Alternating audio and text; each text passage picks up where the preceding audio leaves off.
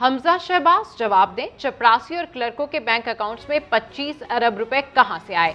क्या ज़रिया आमदन था? एफआईए ने अपोजिशन लीडर पंजाब असेंबली को शो कॉज नोटिस जारी कर दिया।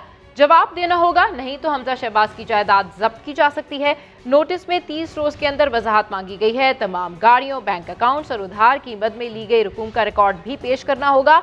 सोना, नकदी फॉरेन करेंसी प्राइस बॉन्ड्स और बैरून मुल्क सरमायाकारी समेत दीगर मालूम भी मांगी गई हैं। मरियम औरंगज़ेब का कहना है कि एक ही इल्ज़ाम में कितनी बार हिरासा किया जाएगा? तमाम सवाल के जवाब हमजा शहबाज दे चुके हैं। बदनीयती की बुनियाद पर उनका मीडिया ट्रायल किया जा रहा है। हमजा शहबाज, जवाब दें, चपड़ासी और क्लर्कों के बैंक अकाउंट्स में 25 अरब रुपए कहाँ से आए? क्या ज़रिया आमदन था?